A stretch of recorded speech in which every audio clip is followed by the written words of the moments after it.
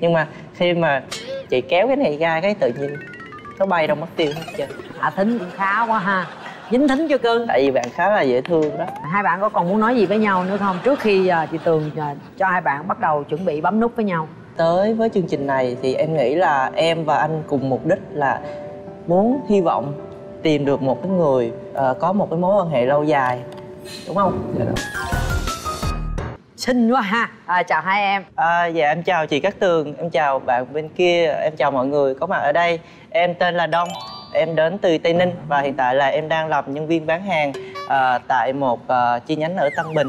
Năm nay em 26 tuổi. 26 tuổi rất nhẹ nhàng dễ thương. Ở Tây Ninh thì nhà còn có ba mẹ còn anh chị em gì đông không? À, dạ còn đủ hết ạ. Mời tới em bên đây. Dạ em chào chương trình chào bạn bên kia chào chị Cát Tường. Em tên Hiếu em uh, ờ, 26 tuổi luôn. Dạ em đang uh, sinh sống và làm việc ở huyện Bình Chánh. Chánh dạ em đang làm công ty giày da. Em làm về mảng nào trong đó? Em làm bên uh, nhân viên điều độ. Điều độ? Dạ. Là điều độ là làm gì? Là uh, triển khai hàng hóa à. để sản xuất à rồi chị hiểu em rồi. em quê bạc liêu. Em lên đây lâu chưa? Em lên đây được uh, 7 năm. Rồi 7 năm. Dạ. À hiện giờ là em đang sống với ai? Ở bình chánh. Em đang ở với anh hai. Anh hai anh ruột dạ. đó hả? Dạ. Hai anh em dạ. Hai có gia đình chưa? Dạ, có gia đình rồi. Rồi. Điểm mạnh điểm yếu của em là gì? Điểm mạnh của em là em biết nấu ăn. Tật xấu của em là nhậu xỉn không nhớ hay quên. Có hay xỉn không? Dạ ít đó ít đi nhậu. Năm xỉn mấy lần? Em cũng biết. Tháng xỉn mấy lần?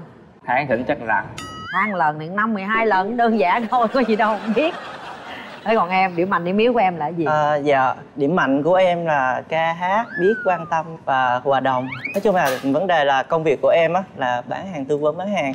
Cho nên là cái phần mà tạo cảm xúc cho người đối diện. À.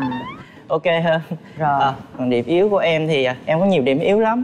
À, háo ăn ngáy ngủ mù đường nữa. Ừ, bây giờ thì à, bắt đầu vô những cái câu hỏi nó hơi mang tính riêng tư một chút xíu. Dạ. mà chị tường tin rằng là mọi người khán giả theo dõi cũng sẽ muốn biết những cái thông tin như chị và ngay cả những người à, hai người ngồi đối diện thì cũng muốn biết thông tin của nhau. Trước tiên là trong cộng đồng lgbt của em em đã come out với gia đình chưa? Dạ em đã come out với gia đình em rồi. Bao nhiêu lâu rồi? À, chắc cũng nửa năm trước rồi. Phản ứng của gia đình như thế nào cái phần cơm ao này á là em chỉ cơm ao với ba mẹ thôi. Còn à, ông bà nội thì là cái người em thường hay chia sẻ và biết rất là lâu rồi. Một thời gian trước thì mẹ hỏi em là bộ như vậy hả? Thì em cũng có nói thiệt là sau đó thì mẹ phản ứng rất là gay gắt. À, mẹ nói là con như vậy thì thôi con đừng có nhìn mẹ nữa. Nhưng mà may mắn cái là hai mẹ con cũng hòa với nhau rồi. Hiện tại là đang rất là ok. Nhưng mà chị nghĩ thì cái điều đó ừ, trước giờ là ví dụ như từ, từ lúc nào thì em biết là mình như vậy. À... cái này nó có biểu hiện từ trước chưa không hay là mới sau này thôi? Dạ thì thực ra là hồi nhỏ là à, em cũng dạng là yếu đuối đi. Nhẹ nhàng. À, bây giờ cũng vậy chứ không phải hồi nhỏ. Bây giờ chị thấy em cũng rất là nhẹ nhàng. Cái giai đoạn mà em biết á là em đi lính ra. Có đi lính nữa hả? Em có. Em có đi lính năm 19 tuổi. Oh. tới 21 tuổi thì ra thì đi lính ra mới phát hiện. Dạ ở trong lính chưa thì ở trong đó thì em có cảm nắng một cái bạn uh, sinh năm 90 gái hay trai? Con trai. Sau đó thì đi ra đi ra rồi thì cảm thấy là nhớ chứ không nghĩ là mình thương bạn. Sau đó là lên Hồ Chí Minh lại thì uh, gặp bạn. Và tối đó thì hai đứa về về nhà bạn ngủ chung thì bạn say xỉn rồi bạn hôn em một cái. Em phát hiện ra là mình cũng thích cái cảm giác đó. Dạ còn trong cái ký ức tuổi thơ của em là có bao giờ em em em em thích bạn phụ dạ, nữ em không hề nghĩ tới vấn đề đó. Từ lúc đi học luôn cũng dạ. chưa có hề thích một dạ, bạn gái nào rồi. trong lớp hết. Có thích bạn gái không nghĩ là mình uh, ờ thích con trai. À có nghĩa là hồi đó giờ đi học thì mình vẫn nghĩ là mình cũng có thích con gái. Dạ đúng rồi. Có quen bạn gái nào trong lớp chưa? Cũng có cảm nắng một vài bạn nhưng mà sau đó thì uh, con nít mà. À tiếp. Còn câu chuyện của em thì sao? Hồi nhỏ là mấy anh bộ đội về quê về gần nhà em á là đi tập này nọ là cái, cái em hay rủ cái đứa nít mà thấy phái chạy theo theo cái từ từ cái mến với anh đó. Đợt cái anh đi xong hết uh, mùa sau cái anh đi về. Cái buồn mấy anh luôn hả? Như là đông lắm. À. mình, mình mến thôi chứ mình nói là mình chưa có thích. Như là mình chỉ mến như là anh ruột thôi. À. cái là mấy anh đi về cái buồn quá khóc này nọ vậy đó. Khoảng uh, mấy tuổi là mới biết là mình thích con trai thôi mà cho, cho chị hỏi xíu thì vai trò trong cái cái cái chuyện ờ, nam nữ của tụi em là à, là cái vai trò em là vai trò như thế nào? dạ thì em là sen uh, cho nên là cũng dây về vai trò nào thì em cũng làm được hết. À có nghĩa là là là là là, là men cũng được mà yếu cũng được. Dạ bình thường em cũng men mà. Chị chưa thấy em men luôn á. Thôi em gồng lên. Gồng lên còn bên đây em là vai trò mình là như thế nào? em là vai trò boss. Boss là có nghĩa là là là là làm dương là ứ là phải yếu. Dạ. đúng không? Chị dùng từ vậy đúng không? Dạ. đúng không? Chị nhìn em có vẻ còn mạnh mẽ hơn anh bộ đội bên đây luôn á. Này mặt rất là dễ thương nhẹ nhàng. Sao em biết em là sen mối tình đầu tiên em lúc mà em mới vào nghề á em Vào nghề. thì lúc mà cảm nắng một bạn nữa thì ờ, bạn này ờ, quen mối tình đầu đi gọi là mối tình đầu hai đứa quen nhau. Thì ờ, bạn vai ờ, top Ờ, nói chung là bạn là người đưa em vào đời đó. Top là trên. Dạ boss là dưới. À rồi cái cuối cùng sen là giữa. À rồi điều vậy là trải qua mấy mối tình rồi? Dạ em trải qua hai mối tình quen nghiêm túc. Mối tình sâu đậm nhất của em là mối tình nào? Lý do sao? tình sâu đậm nhất của em là mối tình thứ hai 3 tháng. Chứ không phải cái đưa vào đời hả? Dạ không. Đưa vào đời mà không sâu đậm. Thực ra là lúc đó thì ờ, kết quả chia tay á là hai đứa không hợp tính nhau. Với lại ờ, lúc đó là ờ, em đóng vai vợ cái lần đầu yêu thì cảm thấy là con con rất là còn con nít bắt đầu qua cái mối tình thứ hai thì em dạ, lên mối top tình lại. thứ hai thì ờ, em ờ, lên top bạn là boss quen nhau đúng được 3 tháng đúng cái ngày ờ, 20 tháng 12 quen thì 20 tháng 9 và chia tay là 20 nhớ tháng rõ 12 dữ vậy luôn. Mối tình đó tại sao ngắn mà lại sâu đậm nhất?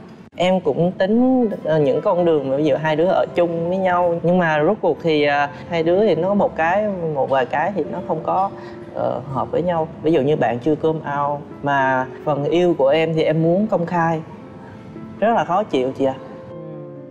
Giờ không vượt qua được cái điều đó. Dạ thực qua không vượt được. Một câu hỏi nữa là dạ. trong hai vai trò đó em thích cái vai trò nào hơn? Thực ra đối với em thì em không quan trọng là mình là ờ, vai trò nào? Quan trọng là khi mà hai đứa thương thương nhau thì có sự đồng cảm chia sẻ và ờ, quan tâm nhau xíu. Tự- nhưng mà nếu em chọn em cũng phải có cái thích cái nào hơn nhỉnh hơn cái kia chứ. Dạ thì à, từ khi quen bạn thì à, em lại thích làm à, một cái chỗ dựa. em muốn bảo vệ người Dạ, người đúng. còn lại đúng không? Dạ đúng. thế còn em em đã come out gia đình chưa? 19 tuổi là Cà Mau mẹ em mất rồi nhưng mà cha còn cha thôi. Nhưng mà cha còn đã có mẹ sau nữa nhưng mà gia đình em cũng rất là dễ. Cà Mau một cái là cha cũng hơi buồn xíu nhưng mà ông cha cũng nói là kệ con chọn thì con thương thì con chọn chứ cha không có chọn được thì sao cha cũng chịu. Gia đình em rất là dễ là được cái đó. Rồi à, em trải qua được mấy mối tình rồi? Em cũng trải qua được hai mối tình mối tình năm em 21 tuổi á.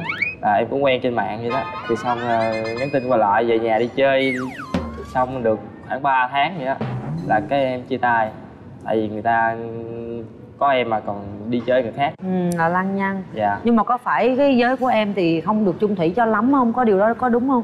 Cái này em cũng không biết nè mà em thấy đa số là cái giới nào cũng như cái giới nào.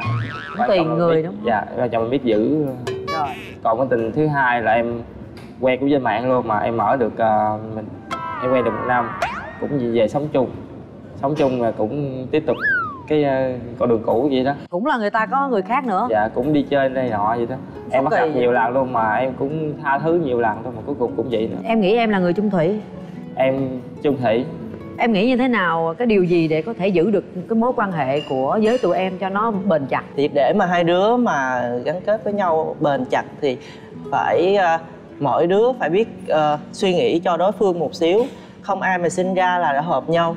Mình phải biết thay đổi và cảm thông và biết suy nghĩ cho người ta, đặt cái suy nghĩ của mình vào ờ, cái người đối diện. thế bây giờ mẫu người mà em mong muốn tìm kiếm là một người như thế nào Thứ nhất là cơm ao, đã cơm ao đã rồi cơm ao. được Cái thứ hai là công việc ổn định. ừ. cái thứ ba là cùng có những cái suy nghĩ ờ, giống như em về tương lai ờ, để mà tiến xa hơn. Vì chứ không phải là bây giờ cũng lớn rồi chứ không phải là quen nhau vài tháng rồi thôi. Cùng tương lai để tiến xa hơn cụ thể là ví dụ dạ, là có thể là về sống chung và sau đó là được thì có thể là cưới. Là ý em cũng muốn là đám, đám cưới đồ đàng Dạ. hoàng. đúng.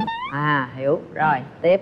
Nếu mà được thì à, cái tương lai gần thì em mong muốn là có thể dắt bạn về nhà để gặp ông bà nội gặp ba mẹ. Bây giờ là gia đình em giờ là đồng ý hết trơn rồi đó chấp Dạ. nhận rồi đó. Dạ đúng rồi đồng ý hết rồi. Còn em em muốn tìm một người như thế nào? Em muốn tìm một người là không cần đẹp không cần giàu có gì cũng công việc ổn định là được. Nhưng mà biết quan tâm chia sẻ những lúc vui buồn là được.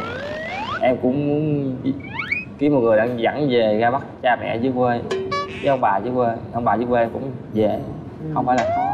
Em có muốn có đám cưới không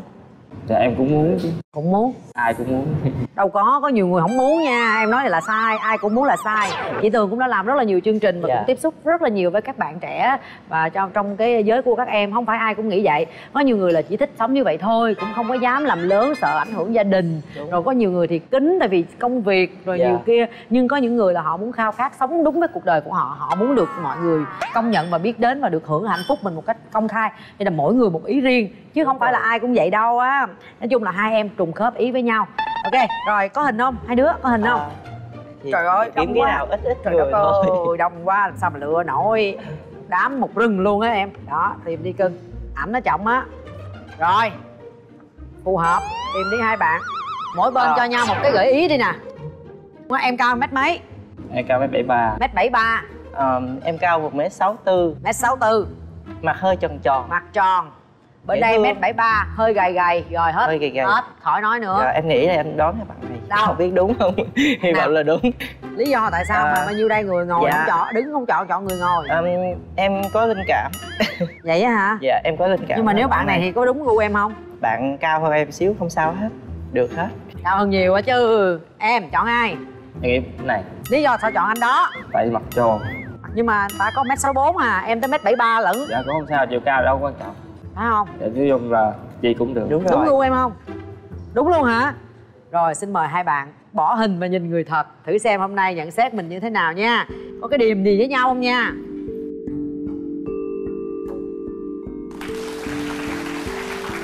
Được không? Hình như em đoán đúng rồi đó chị. Thì đây cũng đúng. Đúng rồi còn hình như gì nữa đúng rồi mình ăn mừng nè. À, đầu tiên thì à, à, anh có cái quà tặng em. Đi qua đây luôn không cần đi qua. Rồi ok. Qua chi ta thấy mình Có lùn hơn. cái khẩu trang với lại à, miếng chịu tay nữa hy vọng là nó thay em. Ý nghĩa là nó thay anh bảo vệ em. Em cũng có quà tặng. À, quà tuy là nhỏ nhưng mà em thích nó như là em thích anh vậy đó trời ơi thả tính ghê. Nhỏ em thích nói với em thích anh vậy thích luôn rồi hả? Ơn em. Có cần chị ngồi đây nữa không hay chị đi luôn cho rồi cho nó lẹ ồ, trời kỹ quá ha, trong hoa có khẩu trang, nước rửa tay nữa ha. Đúng, tình yêu mùa dịch là phải như vậy, bảo đảm an toàn cho tất cả mọi người. Nhưng mà nãy giờ chị có bị gì, chị cũng lay hai em rồi, không sao. Cảm giác đầu tiên khi cánh cửa này mở ra, cảm xúc của em là gì? Dạ rất là vui khi mà mình nhận đúng người còn cái thứ hai thì bạn cũng rất là dễ thương. Mình phải có thưởng chứ. Bây giờ mình hát bài hay là mình làm gì cho nó vui vui lên đi nè. Thực ra là bài này thì em mới nghe của đức phúc ca vài lần thôi em chưa có thuộc lắm. Vài câu thôi vỗ tay cho ảnh đi em. Cao hơn cả núi, dài hơn cả sông Rộng hơn cả đất, xanh hơn cả trời. Anh yêu em, anh yêu em nhiều thế thôi. Vượt qua ngọn gió, vượt qua biển xanh Vượt qua cả những ngàn mây thiên đường. Dẫu có nói bao lời Cảm giác trong anh bây giờ hơn cả yêu. Ai, dễ thương nhẹ nhàng quá vậy trời ơi thiệt tình. Ờ được rồi vậy tường sẽ dành cho hai bạn ít phút để hai bạn trò chuyện với nhau ha. Có điều gì cần trao đổi thì mình cứ trao đổi. Thời gian chương trình rất là ngắn phải tranh thủ nha.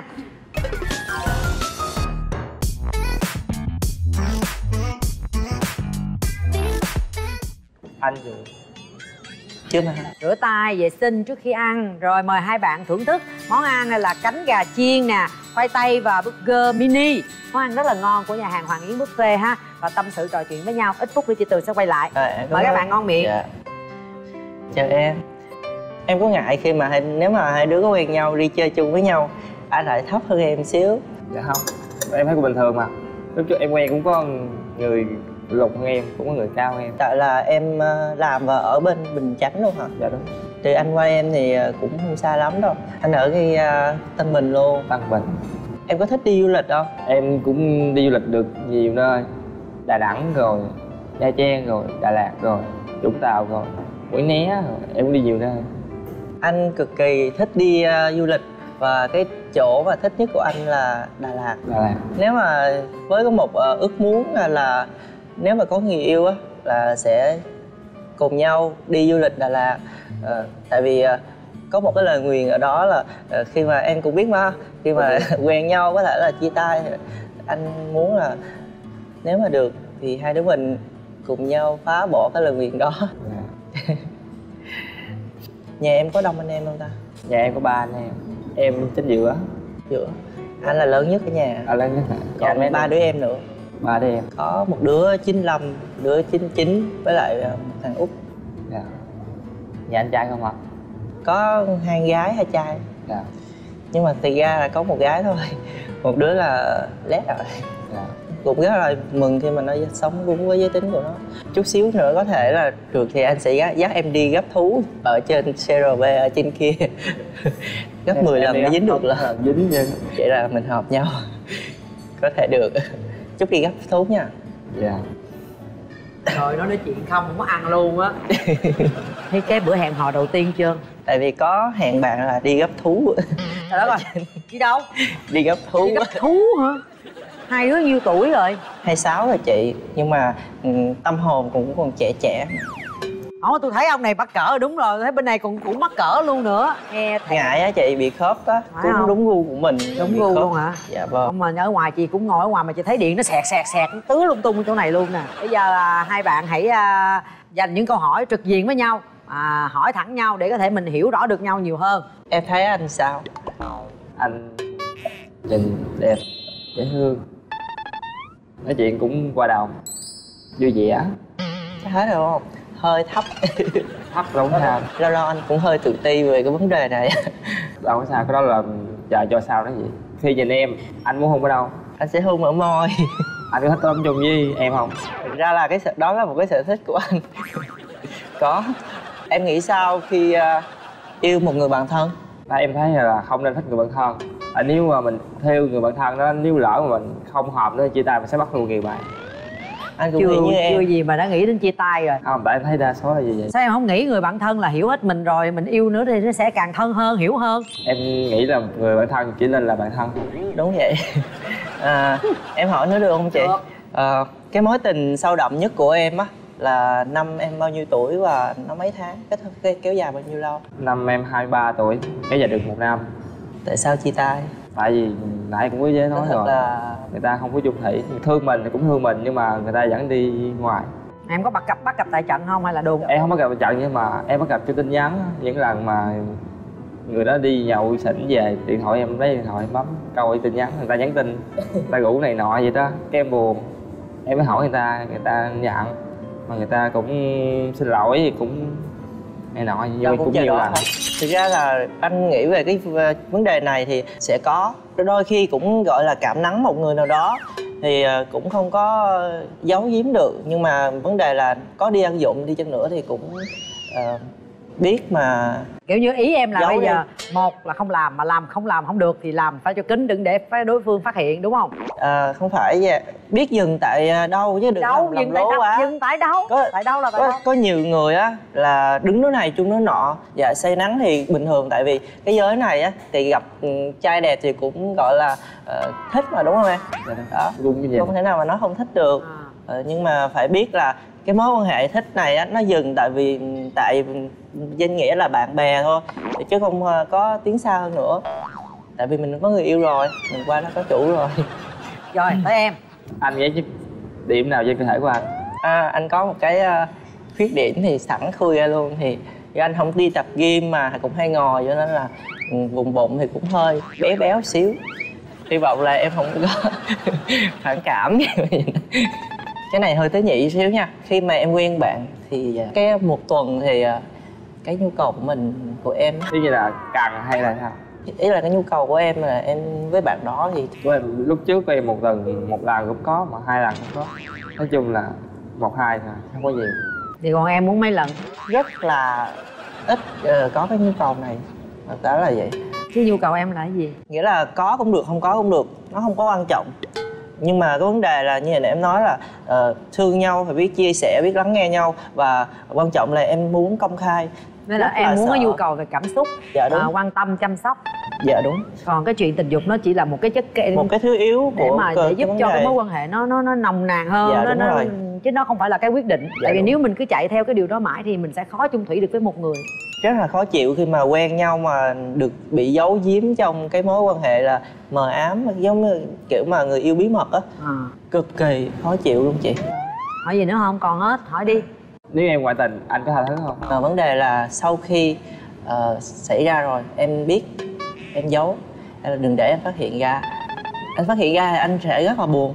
Tại vì khi mà quan mối cái mối quan hệ của mình thì anh sẽ kỳ vọng nó rất là nhiều thì khi mà nghĩ tới chuyện mà một người yêu của mình họ này kia với một người nào đó nữa em có buồn không? Tất nhiên là buồn đúng không? Đó cho nên là sau khi mà em à, không còn thương anh nữa thì em cứ nói thẳng ra có thể là dứt sớm được thì cả hai cùng khỏe. Có nghĩa là nếu như em phát hiện rồi thì em không tha thứ. Thực ra là tùy vào cái tình cảm mình còn hay không nữa.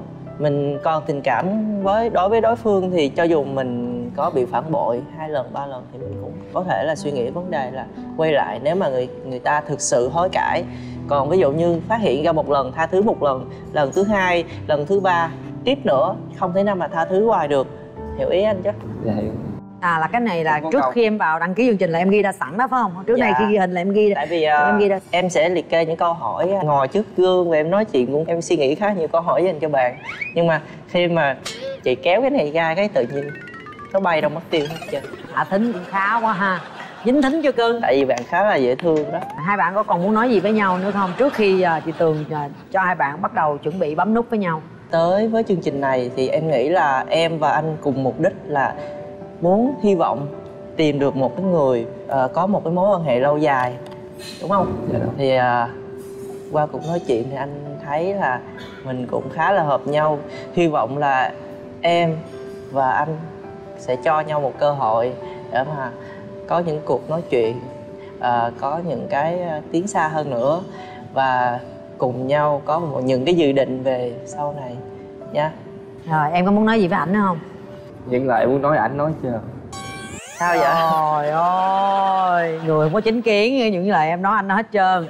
Rồi được rồi mời hai bạn đặt tay vào nút bấm nãy giờ tường chị cũng đã dành cho hai bạn khá nhiều thời gian hơn những cặp đôi bình thường tại vì đây là những cái trường hợp mà chị tường cũng rất là muốn biết muốn quan tâm nhưng mà thật sự những thời gian trên đây nó cũng không có đủ để chúng ta yeah. Dạ. hiểu hết được nhau đây chỉ là một cái chiếc cầu nối một gỡ nhau thôi và ở đây chúng ta bấm nút giống như em nói là công khai trước sự chứng kiến của rất nhiều người và đưa ra quyết định và phải chịu trách nhiệm với cái quyết định đó nha. Mời hai bạn đặt tay vào nút bấm nhắm mắt lại. Sau 3 tiếng đếm của chị tường thì đưa ra quyết định. em suy nghĩ kỹ nha. Nếu bấm nút thì nhấn mạnh không bấm nút lặng lẽ lấy tay ra. Mời đặt tay vào nút bấm. Nhắm mắt lại nhé một hai ba. Mở mắt lên đi. Thấy chị tường làm gì không? Đó nó không thèm nhìn chị tường luôn yeah. ghê chứ nó nhìn nhau không hà được rồi thật là một cặp một cặp rất là đẹp đôi. Mời hai bạn đứng về phía bên này hơi tự ti xíu rồi nắm tay nhau đi hai đứa. Một nụ hôn nè hồi nãy khao khát hôn gì đó làm đi. Công khai em muốn công khai mà. Ok mời hai bạn. Hơi ngại. Đâu có gì đâu ngại. Người ta con gái tao không? ngại với em, em trai ngại hơi ngại. Hơi ngại nhưng mà thôi hôn đại đi em. Tranh thủ ha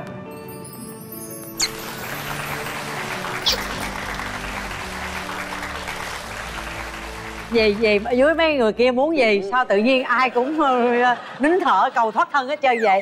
À, thật sự là cũng rất là vui khi hai bạn có thể là à, đồng ý à, hẹn hò với nhau đồng ý chia sẻ với nhau những cái buồn vui trong cuộc sống và chị cũng mong như hai bạn nói vậy đó nhiều người người ta cũng đánh giá chưa có tốt lắm về giới của mình thế mình hãy sống thật là tốt mình hãy là những người lương thiện hãy giúp đỡ nhau vượt qua những cái con đường ở phía trước để có cùng chung một cái mục đích ha yeah. Dạ. và thay mặt chương trình gửi tặng cho hai em những chiếc yeah. Dạ. vé xem phim của hệ thống rạp chiếu phim Cinebox 212 Lý Chính Thắng à. đến đây xem phim ha rồi tâm sự ha rồi hôn nhau thoải mái ha cảm ơn hai em.